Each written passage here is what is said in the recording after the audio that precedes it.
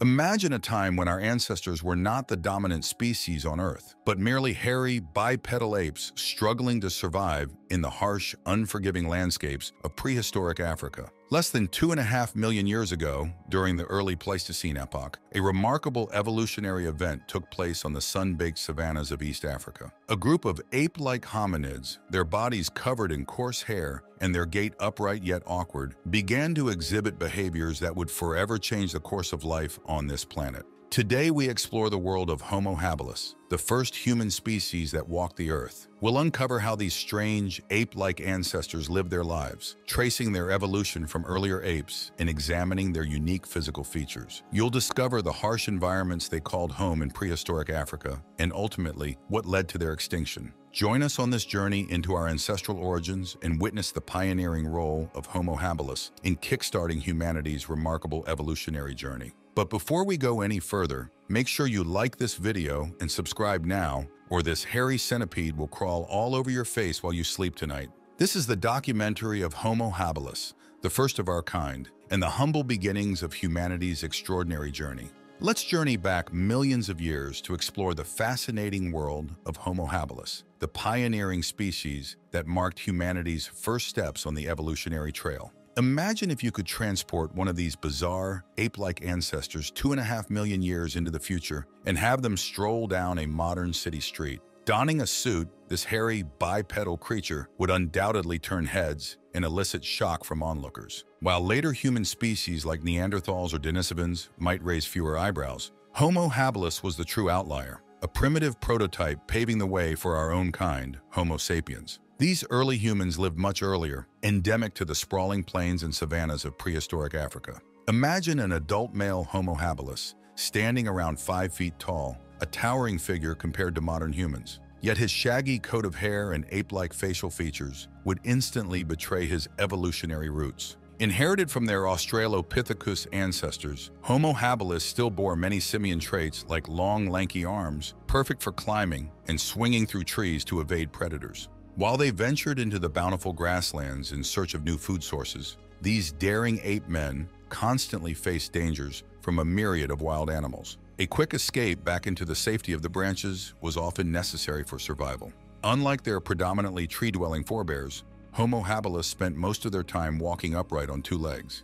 Their unique physiology even allowed them to break into sprints for extended periods, an impressive feat for that era. Longer legs than any previous ape facilitated their nomadic lifestyle, trekking vast distances across the African savannas in pursuit of sustenance in new territories. However, it was their distinctive faces that truly set Homo habilis apart from modern humans. Imagine encountering one on a city sidewalk. Their tiny, sloped foreheads, high-set eyes, and ape-like skull structure would be instantly recognizable. A flattened nose with flaring nostrils and a protruding mouth betrayed their simian ancestry, a stark contrast to the refined facial features we take for granted today.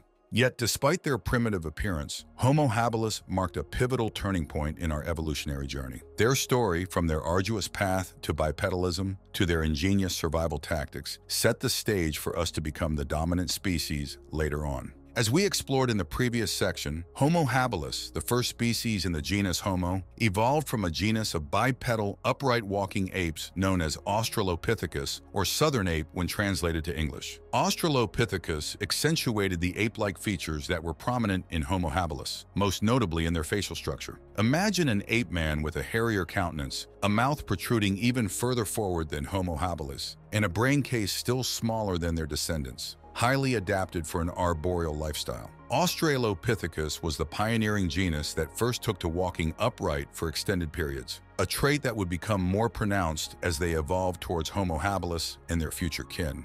With each successive generation, these early apes focused increasingly on abandoning the trees, adapting entirely to a life on the ground. The most likely candidates for the Australopithecus species that led to the emergence of Homo habilis include the famous Australopithecus afarensis, represented by the renowned fossil Lucy, or the lesser-known Australopithecus sediba, which started to die out just under 3 million years ago. It was during this time that one branch of these species began to diverge, setting the stage for the evolution of our Homo habilis ancestors. For scientists, pinpointing the exact moment when the Australopithecus genus gave rise to the Homo lineage has been an immense challenge. Prior to the groundbreaking 1964 discovery of Homo habilis by the renowned team of Louis Leakey, Philip Tobias, and John Napier, it was widely assumed that the more advanced Homo erectus was the next step along the evolutionary path. However, erectus represented a much more dramatic transition from the Australopithecus genus, making it evident that a critical piece of the puzzle was missing, a transitional form that would bridge the gap between the two. The question of what precisely caused one of the Australopithecus species to evolve into the pioneering Homo habilis has been the subject of extensive debate and speculation over the years since their discovery.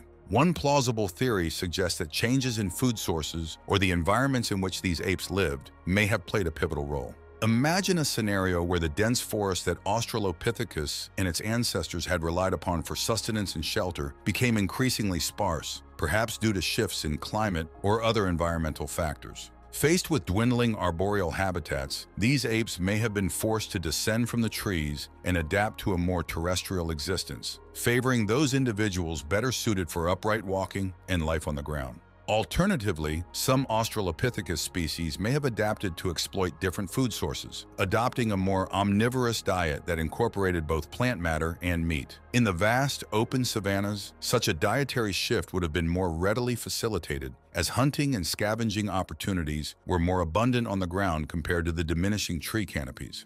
While we can only speculate based on the fossil record and comparative studies, advances in DNA analysis techniques have shed new light on the genetic relationships between modern humans and our ancient ancestors. By examining the traces of DNA preserved in ancient fossils, scientists have been able to reconstruct the intricate web of evolutionary connections, revealing the shared genetic heritage between Homo sapiens and species like Homo habilis and Australopithecus. Through this cutting-edge research, we can gain a deeper understanding of the molecular mechanisms that drove the evolutionary transitions from our ape-like ancestors to the first members of the Homo genus, and ultimately to our own species. The unraveling of these genetic mysteries not only illuminates our ancient origins, but also provides insights into the unique traits and adaptations that have shaped our biological and cultural diversity as a species. Although Homo habilis was officially introduced to the world as a new species in 1964, the first tantalizing clues of its existence were unearthed years earlier in the Olduvai Gorge, a renowned paleoanthropological site in Tanzania.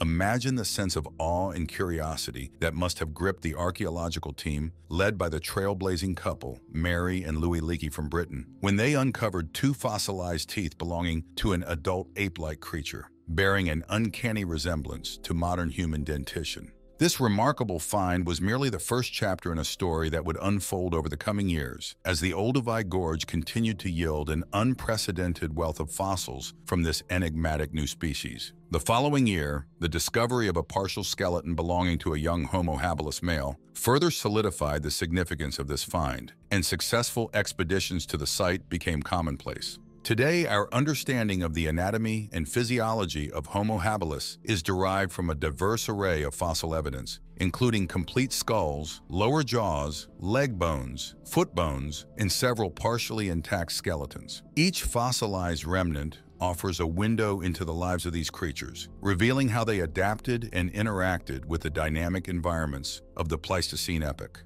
One of the most striking revelations from the study of Homo habilis fossils lies in the structure of their hands. The bones of the hand indicate that these ape men possessed the ability to grip objects with precision, a trait that would have been crucial for the production and manipulation of basic stone tools. This manual dexterity was likely facilitated by the development of more advanced cognitive abilities in the brain, marking a significant milestone in the evolution of tool use and technological innovation. Furthermore, an analysis of their skeletal proportions tells a compelling story of their unique adaptations. While the length of their legs in relation to their arms suggests a creature well suited for upright, bipedal locomotion, the retention of elongated arms and other arboreal features hints at a species still at home among the trees, a transitional form bridging the gap between their ape-like ancestors and the more terrestrial humanoids that would follow. This duality is further evidenced in the shape of their jaws and skulls, which bear closer resemblance to the robust, ape-like features of the Australopithecines than to the more gracile, modern human form. However, their teeth, while still retaining relatively long and sharp incisors akin to those of chimpanzees or gorillas,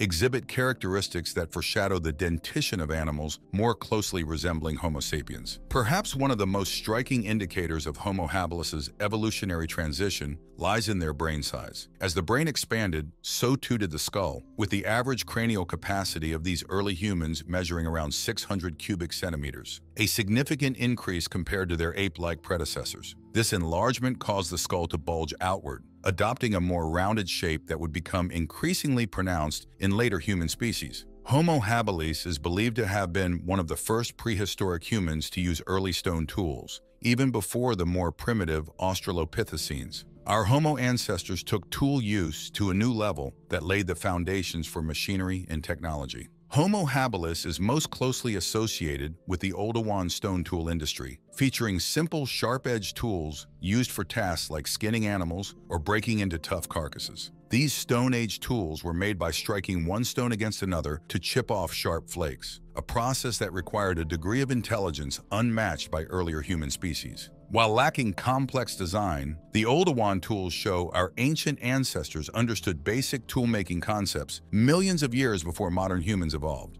Mary Leakey's famous archaeological discoveries at Olduvai Gorge in Tanzania provided many examples of these primitive stone tools used by some of the earliest human species on Earth. Some evidence even suggests Homo habilis may have been the first prehistoric humans to construct basic shelters or windbreaks from planted stone circles, possibly the oldest known human architecture. Homo habilis is also speculated to have been among the first prehistoric human species to practice monogamy or pair bonding between males and females within their groups. These early human ancestors likely lived in troops of up to 80 individuals, with multiple males banding together to defend the group using intimidating screeches, arm-waving displays, and throwing sticks or stones at predators. The early Pleistocene savannas of Africa where Homo habilis lived were similar to modern grasslands in Tanzania, open grassy plains dotted with trees and cut through by rivers. However, these prehistoric human ancestors shared this untamed environment with other ancient human species like Homo ergaster, Homo erectus, and even the more primitive Paranthropus boisei. To survive, Homo habilis had to scavenge meat from carcasses of antelopes, horses, and other prey killed by formidable prehistoric predators like saber-toothed cats, hunting hyenas, and crocodiles. Fossil evidence shows some unlucky Homo habilis individuals even fell victim to attacks from these fearsome prehistoric monsters.